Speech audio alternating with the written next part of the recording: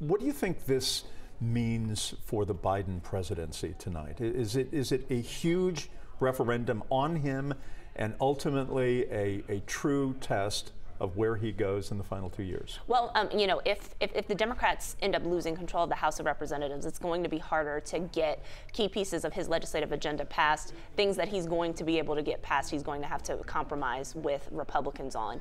Um, I think, you know, one of the biggest consequences of losing the House of Representatives, as people expect tonight, is that we're going to see a shift in the uh, in, in, the, in the culture in the House. And so all of the investigations that have now been focused on the previous administration are now going to focus on the Biden administration And so I expect that that's going to be a really, really cantankerous relationship that's going to make it hard to get substantive legislation passed. You know, when you talk about the House and, and you talk about the congressional races that we have seen in in Georgia, there are really no surprises. Everybody that you would expect to do well has, mm-hmm. Or at least seemingly, is on target to do well from polling that we have seen. Yeah, so I mean, the, the one race that's competitive that we will be paying attention to over the course of this evening is in the second district with Sanford Bishop. That was the really competitive race.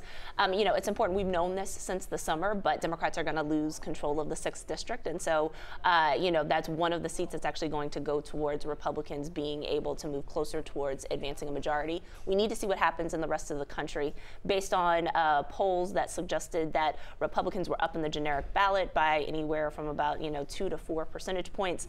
Uh, models predict that that would incur a loss for the Democrats of anywhere from about 20 to 23 or 24 seats. So we'll see whether or not that actually holds.